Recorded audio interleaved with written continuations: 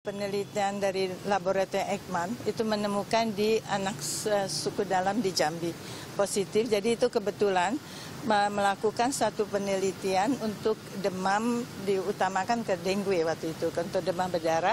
Tetapi dengan cara pemeriksaan laboratorium itu bisa di itu ya. Jadi dilihat ternyata ada Zika yang positif.